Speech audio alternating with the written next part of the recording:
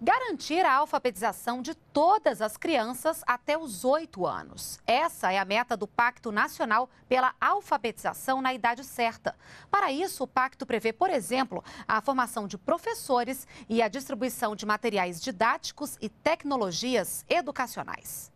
Quando as primeiras letras chegam, elas encontram crianças que têm acesso a ferramentas como a internet que não faziam parte da infância dos educadores. E eles contam que isso faz diferença na hora de alfabetizar meninos e meninas. Antes, a gente pensava que a gente ensinava de qualquer forma, de qualquer maneira, e ela aprendia. Hoje não, a gente tem que saber, a gente acumulou informações e conhecimentos para saber que elas aprendem tudo, mas como a gente vai ensinar vai fazer diferença. A construção do conhecimento é movimento.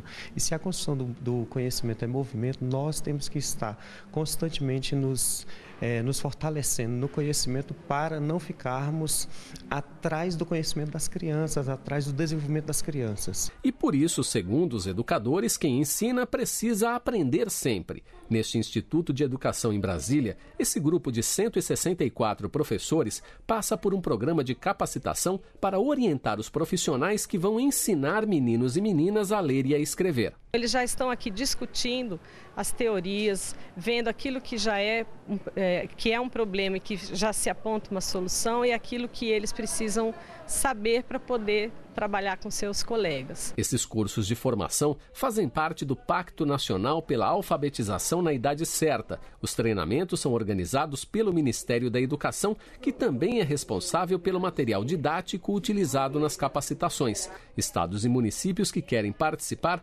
precisam fazer a adesão ao pacto. Este ano escolar começa com quase 5 mil cidades no Pacto Nacional pela Alfabetização na Idade Certa. A ideia é que todas as crianças brasileiras estejam alfabetizadas até os 8 anos de idade no fim do terceiro ano do ensino fundamental. Poder ter todas as crianças, todos os brasileiros né, de 8 anos, com a sua alfabetização em dia, né, dentro desse pacto, é um sonho realizado.